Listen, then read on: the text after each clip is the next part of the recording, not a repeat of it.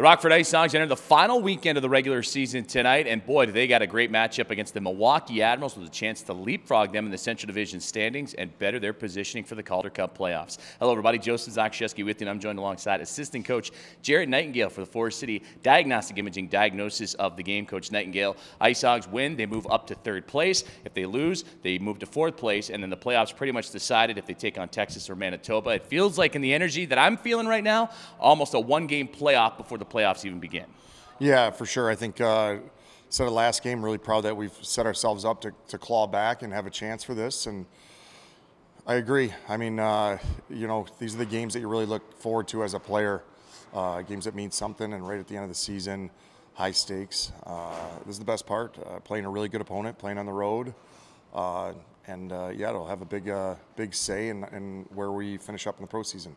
Well, for the Ice Hogs, they got off to a great start in terms of chipping away at a new magic number. Now four points coming into tonight to take over third place and get out of that first best of three playing round into the division semifinals, and that comes on the heels of a 6-1 victory against the Iowa Wild on Wednesday. You have to be happy with your effort, especially in a building that's was tough to play. We caught up pregame there. We knew Iowa was going to try and come out and wrap up their season on a high note, but the Ice Hogs had all the answers. Yeah, I thought uh, Soderblom played really well and – we kind of figure, you know, it's tough if you're in their shoes. They they just, uh, you know, lost their their chance of postseason the night before, and then, uh, you know, we knew if we had a really strong start, we, that would bode well for us. Kind of put them away, and I uh, completed it full 60 minutes. And it was another good sign that really all four lines were playing well and playing hard, and we'll need that tonight for sure. Well, for the Ice Hogs, if you're following along this team all season long, when you see a 6-1 contest you think of guys like Lukas Reichel, Dylan McLaughlin, guys really shining bright. But coach, I have been impressed with the depth of this hockey team. Yeah. Dmitry Osipov, Curtis Gabriel, and Cameron Morrison, two guys that more known for their physical play, grinding out, and work ethic. They all find the score sheet in terms of goals in that performance too. It seems like the Ice Hogs. You mentioned all four lines playing well. All four lines are playing really well. Right, and and you know what? they're not even really looked upon to, to finish to score, but they've been doing that.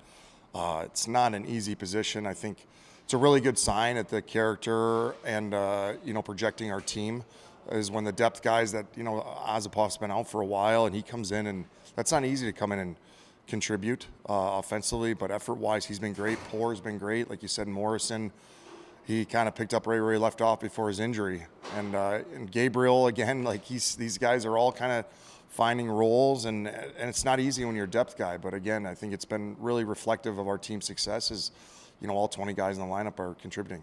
Well, for the Ice Hogs, too, it probably has to take off a lot of pressure for guys like a Reichel, a Connolly, and McLaughlin, some of those top line guys that they don't have to feel the pressures of being the guy. I have to make a play in order to get a result. You can survive that one shift, go off because you know there's guys behind you that can pick things up. Yeah, no doubt. You look at the best teams in the NHL, and they, you know, they can roll. Look at Tampa; they got an outstanding third and fourth line uh, to go deep and to play really good opponents, especially on the road. You know, you can't really match lines. You got to trust all four lines and think Anders has done a really good job of rolling those guys, and they kind of everybody knows their role. They know what's expected of them, uh, and that you know that feels good. Especially like I said, we got a big road game tonight, and we'll need that. Catching up with assistant coach Jared Nightingale for the Forest City Diagnostic Imaging diagnosis of the game ahead of tonight's matchup against the Milwaukee Admirals. And let's go ahead and talk about Milwaukee, a team you've seen quite a bit. You actually lead this head-to-head series in overall points. You've done very well in Milwaukee this year as well. You know how tough it is to play in, in Milwaukee, Wisconsin. As much as the Ice Hogs trying to catch up to them. Admirals have just as much to play for because they don't want to slip down to fourth place and have their playoffs start a little bit sooner against the Texas Stars. What are you expecting from them? Yeah, we always expect the best from our opponent, and, and Milwaukee is a team we've seen a lot of. They have some really dangerous players that can make you pay. Uh, defensemen, they have a veteran group, uh, you know, and good goaltending. But, you know, we expect a, sorry, Hardman, he's always joking around, right? Kind of makes me worry come game time. it, always run away. Anyways, yeah, we, uh, you know, expect a really good opponent. And they know what's at stake tonight, and we know what it's, it's at stake. And that's kind of what makes it fun. like you said, it's going to be a, uh, fun shift by shift. These are the best games to be as a player. Uh, we're really excited to uh, have an opportunity.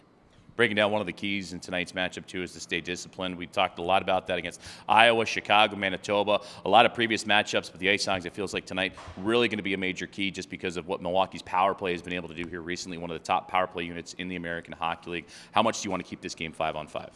Yeah, no doubt. I mean, it's never either way, you know, kind of disrupts the flow when both teams are going to four and five and six power plays.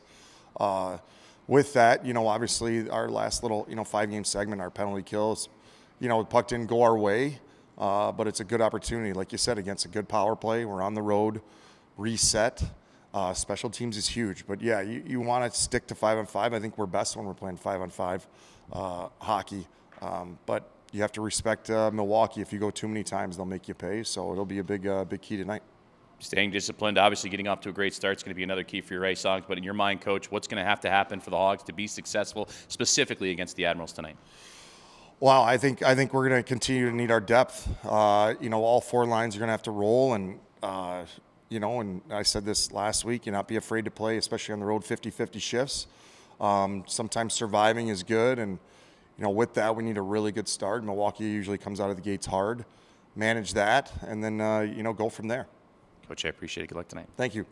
Assistant Coach Jared Nightingale joining us for the Forest City Diagnostic Imaging diagnosis of the game as the Ice Hogs prepare to take on the Milwaukee Admirals tonight out at UW Milwaukee Panther Arena with a chance to move up the Central Division standings and get themselves right into the division semifinals. So let's get you back to the action. You're listening and watching Rockford Ice Hogs Hockey on the Hogs Broadcast Network presented by BMO Harris Bank.